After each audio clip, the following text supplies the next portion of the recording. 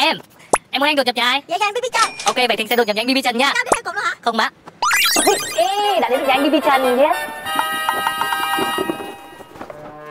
Hello anh Không không quay vậy em ơi Đang kiếm đồ mà đột nhập cái gì Rồi Em Em ăn cắp bộ đồ diễn của anh không? Ủa cái gì vậy ba? Đột nhập vào ăn cắp Trời ơi, bộ đồ diễn quan trọng cho anh, không có bộ đồ diễn làm sao mà anh diễn được Chị đừng có bạn không nói có nhá, tôi có thích giả gái một tí nhưng mà tôi tôi tôi ăn cắp hả chị? Tôi đi về đây. Ê, bỏ trong túi này vào Ôi, túi này, túi này vào Tôi đi về phía sao tôi giấu được đồ thành ra được sang đây. Đâu đấy ngon à? Đây. Không không được. Không được.